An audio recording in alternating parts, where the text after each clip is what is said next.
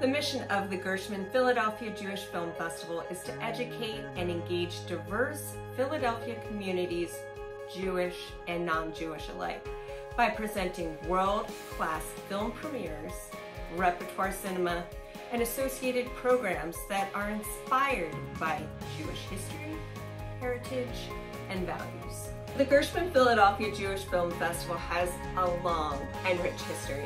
It can trace its organizational roots back to 1875, when the organization was called the Young Men, Young Women's Hebrew Association.